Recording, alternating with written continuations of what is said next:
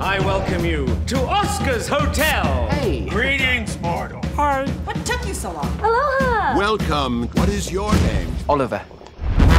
Watch the place for me. I'll be back in about a week. Uncle, I don't know if I'm exactly qualified, but Worry, the place practically runs itself.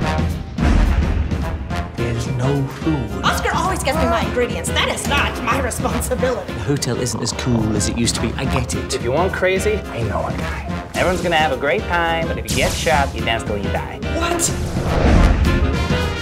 Seriously, if there's a murderer down here, you'll tell me, okay? This year's piece of art is divine, isn't it?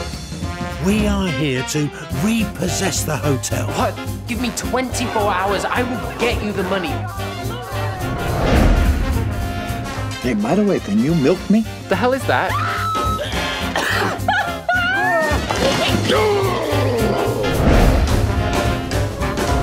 Can I get you anything?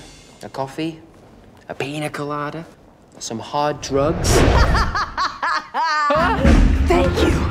That's exactly why you're my new assistant. Oliver! This is it, Brooklyn. Back of the line!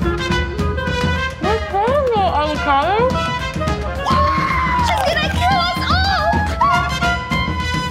It's lemonade. Hmm. I am such a meathead. Who do you think they'll get to play us?